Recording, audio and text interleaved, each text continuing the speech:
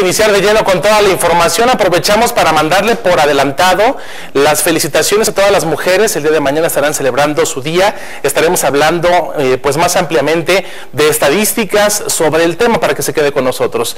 Pero vamos a hablar también en la entrada de este noticiero un eh, tema que desde hace algunos meses pues ha eh, preocupado al comercio, sobre todo a los pequeños empresarios. Se trata de la reforma sendaria que están pidiendo o exigiendo ya la facturación electrónica. Pero a decir del propio presidente de Canacosac, cerca del 40% de los comercios en la entidad no cuentan con la infraestructura ni con la capacitación para poder cumplir con esas obligaciones. Poco más del 40% de los comerciantes de Zacatecas no tienen acceso a Internet o desconocen el manejo de estas tecnologías, lo que dificulta el cumplimiento de las nuevas disposiciones fiscales, señaló el presidente de la Cámara de Comercio, Juan Enrique Suárez del Real.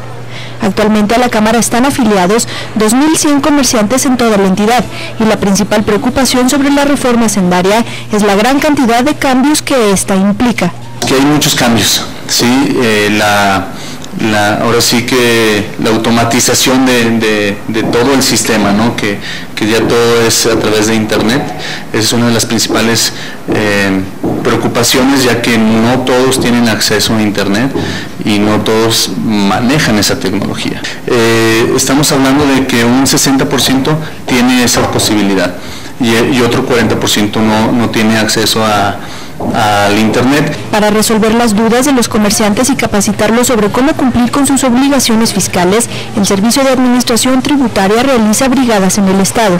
Durante la visita del SAT a Canacosac, se abordaron temas como el cambio de régimen de pequeños contribuyentes al régimen de incorporación y qué hacer si los comercios no tienen acceso a Internet. El presidente recomendó a los propietarios acudir a Canacosac o al SAT para recibir orientación en este sentido.